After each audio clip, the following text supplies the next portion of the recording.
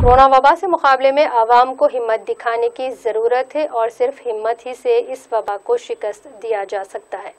इन ख्याल का इजहार रुकन असम्बली बोधन मोहम्मद आमिर शकील ने आज बोधन शहर के एक प्राइमरी हेल्थ सेंटर महकमे बल्दिया की जानब से नस्ब करदा कोविड टेस्ट बोध का अफ्ताह अंजाम देने पर कही। इन्होंने आवाम से अपील की कि आवाम बिला खौफ कतर इससे इस्तेफादा करें और अपने टेस्ट करवाएँ। उन्होंने महकमे बल्दिया का भी शुक्रिया अदा किया कि आवाम की सहूलत के लिए टेस्ट बोध का इंतज़ाम किया गया है। उन्होंने मजीद कहा कि हुकूमत कोरोना के इलाज के लिए काफ़ी इकदाम कर रही है और कीमती दवाएँ भी आवाम तक मुफ़्त फराहम की जा रही हैं इन जो इनका कामयाब इलाज कर रही हैं।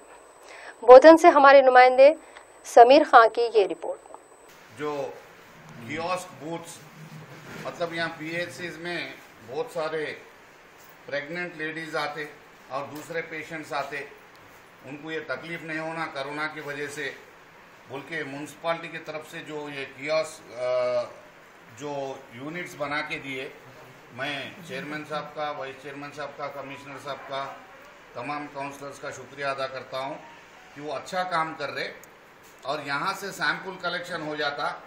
मेहरबानी करके ये जो बीमारी है, पूरी दुनिया में चल रही। अगर आप इसमें घबराएँगे तो कुछ काम नहीं होगा। हिम्मत से इसका सामना करना है।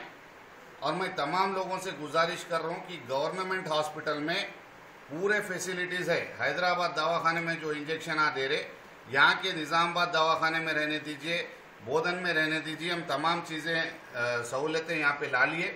और पूरी कोशिश करेंगे, किसी को कोरोना आया, घबरा रहे, घर में छुप जा रहे, भाग जा रहे ये वो बातें कर ले रहे फ़ोन ऐसा नको करो भाई, मेहरबानी करके आप किसी को करोना दिख रहा, करोना कैसा दिखता, बुखार है, सिर में दर्द है, आपको भूख नहीं लग रही, या आपका जो खाने का जो टेस्ट है, कुछ भी खा लिया, अचार खा लिया, मालूम ही नहीं हो रहा क्या खाए बोल के। ऐसे कोई भी सिचुएशन में आप इमीडिएट आपका टेस्ट करा लीजिए। अगर टेस्ट कराए, खुदा ना खास्ता पॉजिटिव आया, समझिए।